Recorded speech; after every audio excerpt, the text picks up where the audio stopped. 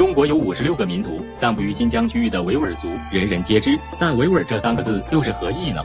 维吾尔族是中国古老而且优秀的少数民族之一，最早可追溯至回鹘人，属于隋唐时期铁勒诸部中的一支。后臣服于突厥，突厥瓦解后归顺大唐王朝。安史之乱时，他们帮助唐军平定叛乱，并因此监视今新疆一带，就此开始了新的生活。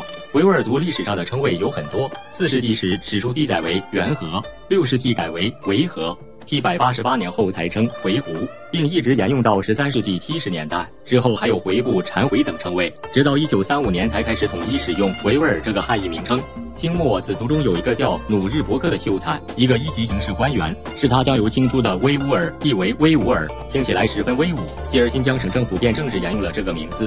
不过一个民族要改名字，不仅仅是当地政府的责任，还引起了各方的激烈讨论。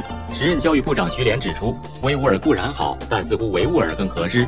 维即维护，吾即我们，尔即你们。